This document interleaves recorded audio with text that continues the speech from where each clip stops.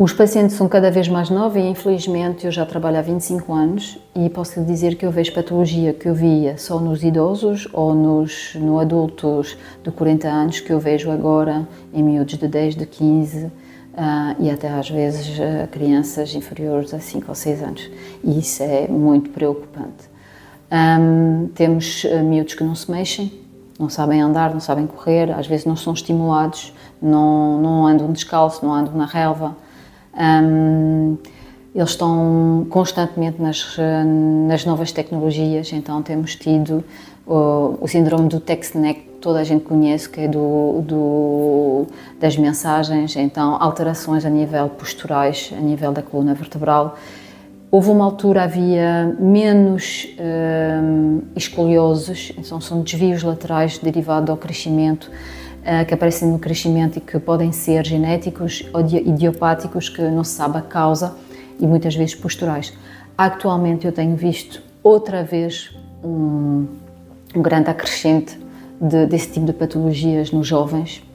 Um, a obesidade é um problema, uh, tem falta de coordenação. Você começa a pôr a fazer uma marcha no lugar, não sabe, são descoordenados. Então há ali uma deficiência a nível neurológica da, da interpretação um, biomecânica do corpo e do, do, espaço que ele tem. E então aí também a quiroprática vai ajudar. Então, trabalhamos muito com eles em pequenos exercícios. Vi agora há pouco tempo, 12 anos, uma jovem com uma alteração de cartilagem. Uh, se você não soubesse a idade, você pensava que já era uma paciente, eventualmente com 30, 40 anos. Uh, estamos a falar com 12 anos. Porquê? Porque não tem massa muscular, não se mexe, depois começou a fazer uma atividade que não era adaptado. Então, tudo isso acaba por ter uma confluência negativa sobre, sobre a saúde deste, deste jovem, que me preocupa, que me preocupa porque um, a prevenção que nós queremos fazer e que fazemos aqui é a prevenção do adulto, sim, por causa das tarefas repetitivas que ele tem, mas para mim uma criança saudável, bem alinhada a nível seu, da sua coluna vertebral, das suas articulações, do seu sistema nervoso, vai ser um adulto saudável e eu já vejo patologias de, de criança com uh, hérnias, discos desidratados. Isso acontecia na época dos nossos pais que trabalhavam na fazenda. Mas não, mas eles passam muitas horas sentadas, depois não é compensado por uma atividade física adaptada um, e então é muito, muito complicado.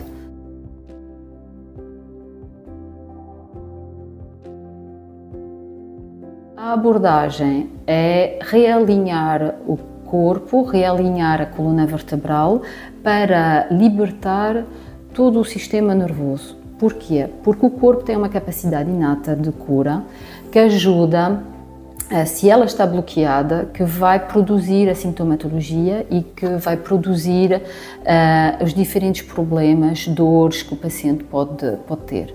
Uma vértebra desalinhada a nível lombar vai produzir, por exemplo, uma lombalgia, umas dores nas costas, uma ciática, uma compressão do nervo ao realinhar a coluna vertebral, ao permitir ter mais flexibilidade, há um oxigênio maior e vamos ter muitos benefícios a nível físicos, mas também a nível químico e a nível mental. Vai ajudar o paciente a ter melhor sono, vamos ter melhor postura, a postura é o exemplo um, da nossa saúde, então melhor funcionamento, o corpo vai ter mais capacidade de se regenerar e vai poder então ter uma capacidade melhor a nível uh, bioarticular, a nível celular, a nível regenerador.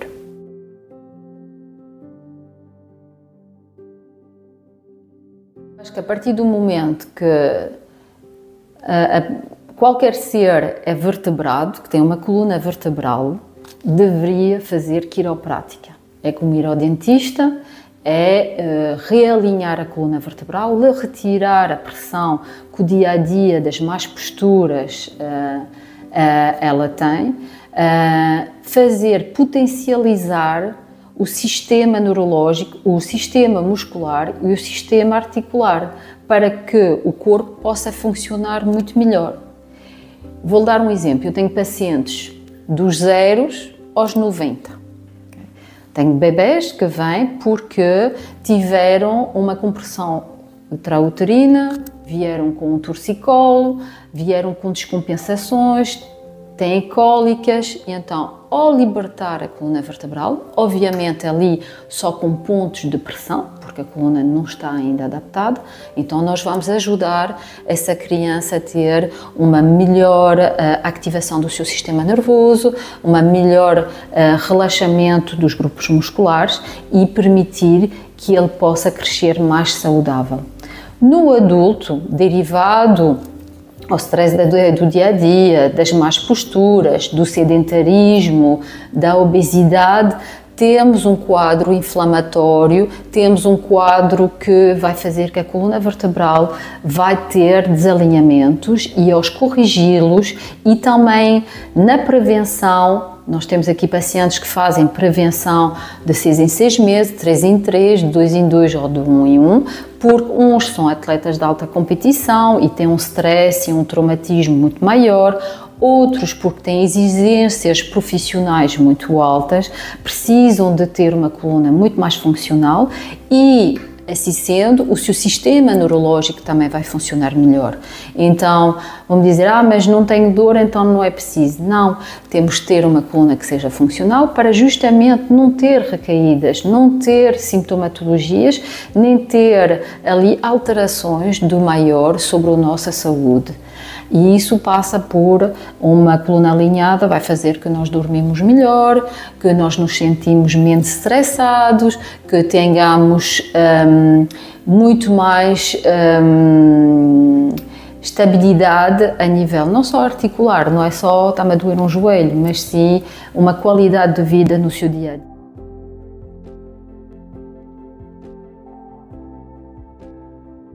Eu acho que as pessoas tanto a nível de ortopedistas, de médicos de família, não tem que ter receio um, da quiroprática ou da osteopatia ou da, da acupuntura. Eu acho que eles têm que ter receio é quem faz estas terapias, porque infelizmente no nosso país nós não temos uma regulamentação completamente uh, estricta. Qualquer um faz o que quer e não é credenciado. Por exemplo, aqui temos em Portugal um, seminários, uh, workshops de quiroprático e que não devia existir e que o Estado deixa acontecer. É uma insegurança, porque depois as pessoas não sabem o que faz.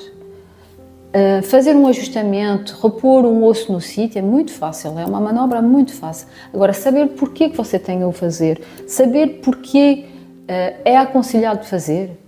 Há uma fratura? Eu já tive um paciente que veio com um entorse e afinal tinha uma fratura ali. Está a entender? E tivemos que fazer por várias técnicas que temos em quiroprática, temos um diapasão que faz uma vibração e estava com uma ampliação da sintomatologia, eu disse, eu preciso de uma radiografia para este pé. Ah, mas é, você dá um jeitinho e as coisas ficam resolvidas. Não, não é um jeitinho, afinal tinha uma fratura ali. Então aí a ortopedia tem que entrar em mão e tem que fazer uh, um, um, um gesso, não é a quiroprática. Depois nós vamos poder reequilibrar eventualmente a bacia, uh, reequilibrar o organismo, mas é isso, é o cuidado. Os pacientes têm que ter cuidado onde é que vão, se as pessoas são qualificadas ou não. E para ser qualificado tem que ter uma cédula, uma cédula profissional dada pela ACSS. Se não tem, é porque não são qualificados.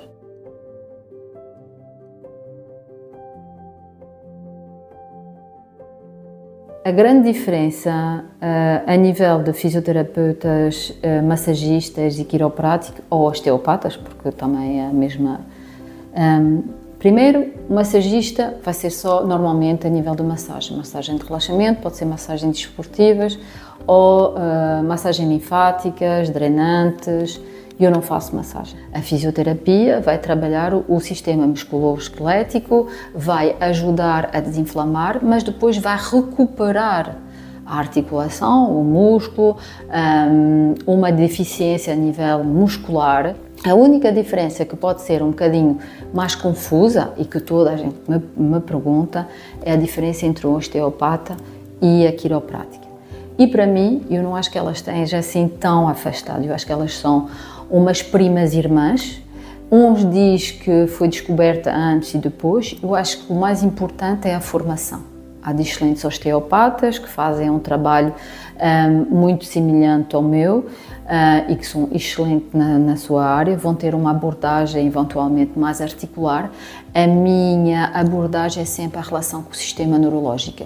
Nós temos três grandes grupos: o cérebro, o periférico e o autónomo. Então, este que controla os barómetros do corpo. E então a quiroprática é trabalhar sobre esses sistemas neurológicos para a capacidade inata do corpo, que é nós uh, temos uma energia inata que muitos uh, reconhecem como o Ki do Reiki, ou os karatecas também reconhecem essa energia de capacidade de cura que nós temos um, e é essa, é libertar essa capacidade para que o corpo possa uh, harmonizar-se e funcionar melhor.